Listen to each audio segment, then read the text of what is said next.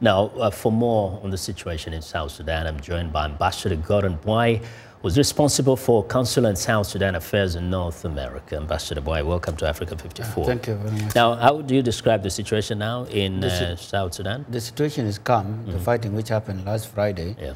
uh, has been arrested and there's no more fighting okay. starting from Tuesday. Yeah. Now the shops are open, people are going about with their lives. But there's still no concern. People are fearing that uh, things could easily flare up. Uh, the tensions remain. Uh, what what, uh, what are you doing? What is the government? What are you know? Let's say the government of national unity doing to ensure that doesn't happen. The government of national unity at the Council of Ministers meeting on Tuesday, yeah. which was attended by all ministers, including the SPLMIO ministers, the only person who did not in, uh, who did not attend was Dr. Riek Machar, but he already is in contact with President Salva Kiir. Mm -hmm. So let me tell you, what happened is not a, a, a, a I mean, a big scale fighting. Yeah. It was only a faction within the SPLAIO that started shooting at, at the palace yeah. while Dr. Riek Machar and Salva Kiir were in the meeting. This faction did not support the peace from the beginning since last year. They believe in Nuer prophet called Ngundeng, so they believe, according to the prophecies of, of, of Nuer Prop and Ngundeng, that when they come to Juba, then they will start fighting at J1 at the palace, the, and then they will the kill information the we got from there is that there was a confusion here. There was some information that uh, Dr. Riek Machar had been detained, and they wanted to see him. They wanted to make sure he's safe, but they were not allowed inside, or they were not allowed to see him, and therefore they started shooting and that is when this escalated into a fight. No, Dr. Riek Machar, because there is a protocol when yeah. the VIPs are in the meeting, Dr. Riek Machar was inside with six security bodyguards. Yes. The rest with arms were outside. So the factions within his group that do not want peace circulated information to his forces that were outside to the lieutenant colonel called David Rio Maguet, telling him that, oh, Dr. Riek is being detained. Yes. So the reason was that they wanted to, to create a problem. So uh, David Rio went to the guard and said that he wanted to get inside the meeting. He was stopped. He was told, no, you just wait for the, your leader to finish. He said, no, I got information that Dr. Riek Machar was detained. He was told, no, Dr. Riek Machar is not detained. If he's detained, why don't you call your generals, your yes. superiors? And then he started shooting, and he shot one of the guards. Mm -hmm. This is how the fighting happened. Okay, yes. so such a but a it was a planned plot the, by the faction of Ngundeng faction, faction, within the SPLAIO, yes. yes. But this had nothing to do with no, Dr. it has nothing Machar to do himself. with Dr. Riek Machar. Dr. Riek Machar. Yes. Now, of course, some recently we spoke with uh, uh, Dr. Uh, Majak uh, Agut, and they said that one of the things that you notice or you get, get a sense of in uh, Juba is that uh, the two men don't seem to have uh, full control of their people, uh, of their forces, and it might be wise that they're out of the picture. In fact, so that you have a more neutral government in Juba. That, that might is, be a solution. That is not true. The, yeah. Uh, the only person who is not in control is Dr. Riek Machar. Mm. The government has been in control since 2013 and the president is controlling his forces. Yeah, but we know that. Uh, but the, what, the, what the, I'm, I'm yeah. coming to what Dr. Yeah. Majak said. Yeah. Dr. Majak is coming from his own political perspective because he is from a group that has been advocating for Riek Machar and Salva Kiir to be removed. Mm -hmm. Dr. Majak, when he was the minister, a deputy minister of defense for three years, he did not transform the SPLA army. Mm -hmm. He was even responsible for destroying the army because he, he created a small group of two of his own section followers and building a sectarian group within the SPLA with, yeah. to fulfill his ambition for leadership. Yeah. But at this point, you know, most people looking from outside, what they feel is that uh, uh, the conditions in Juba create for an explosive uh, uh atmosphere where any of these men can easily say something or do something that will create another civil war. No, not a condition in Juba. Yes. Dr. Riek has nothing, as a person, has nothing to do with this. He even said it on Friday after the incident when he had a conference with the president.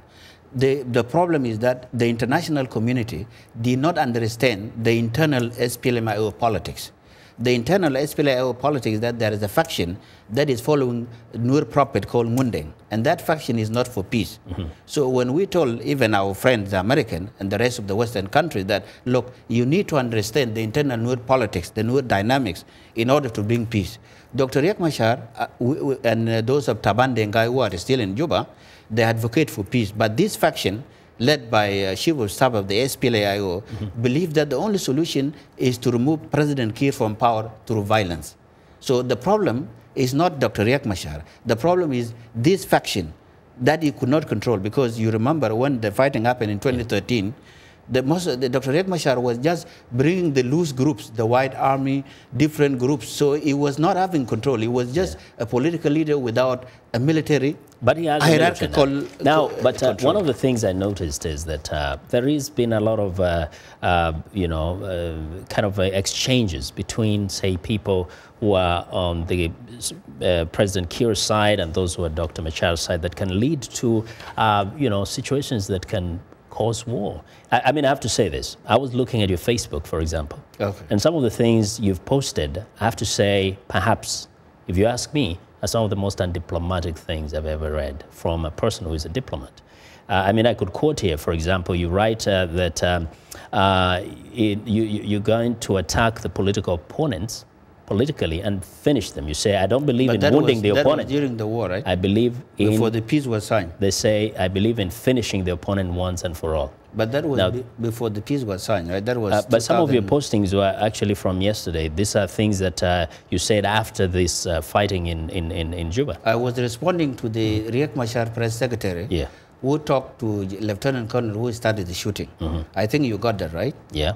The Riek Machar secretary who is in Nairobi talked to the Riek Machar, to, to Lieutenant Colonel David Riau yeah. and told him that Riek Machar was detained. So he was basically the one who explored the situation yeah. by helping the anti-peace element group within SPLIO.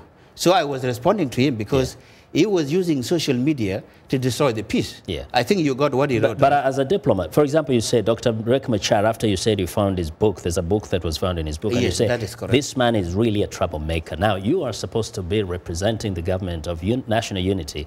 If you write stuff like this about the other partner in the government, does that not incite people into No, it, it doesn't incite people. What yeah. there is, as I told you, there is a faction. Yeah within the within the SPLA, mm -hmm. which is not for peace. Mm -hmm. And I can even show you there are some videos that you would see is people are inciting in North America, yeah. calling for ethnic war. I think you saw them. Yes. So now with that book, Dr. Riek has been reading. So in your perspective, when you look at it, as is the book, I think you, talk, you got the title of the book. So the title of the book by itself, if it is read by him, including these generals who are, for, are not for peace, so what would be your expectation? Uh, that was the issue. Yeah, but as a person who is supposed to help actually uh, promote peace, you're supposed to be representing people uh, from all sides. You do make a lot of references to ethnic groups, the Nuers and others. And uh, for example, in one place you say, we're a government and we cannot be intimidated, intimidated by anybody. If you want peace, we give you peace. Uh, but if you want war, we will give you war. I'm referring to the, the to the group that is yeah. the, the, the Ngundeng faction. Yeah. That is against the peace. Mm -hmm. I think you know that I'm a Nuer. I'm not uh, Dinka. Yeah. I think you know that, yeah. right? I know. So now this group, because this is why we're saying the international community needs to understand the dynamic of Nuer politics.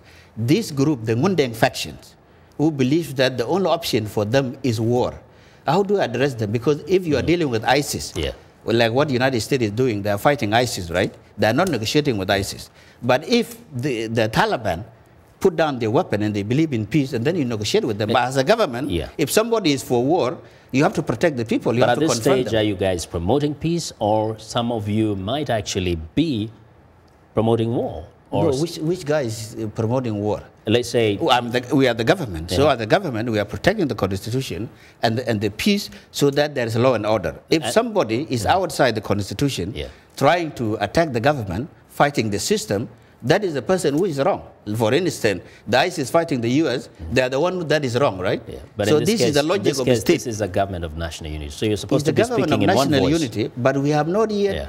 integrated a force within IO that is against the peace. Mm -hmm. Because Riek Machar himself is not in control of the White Army. So how do you address the issue of the White Army? Mm -hmm because they are fighting the government, and these people who believe in Ngundeng are fighting the government, and Riek cannot control them. As a government, what do we do? Do we allow them to kill the people? No. It's we have to confront them. Anyway, this is a, yeah. conversation that will continue. We hope to see peace in South Sudan. Ambassador Gordon, thank you very much. Thank you, no problem. Yes, uh, for coming over. Now, Ambassador Gordon Buay is responsible for consular and South Sudan affairs in North America.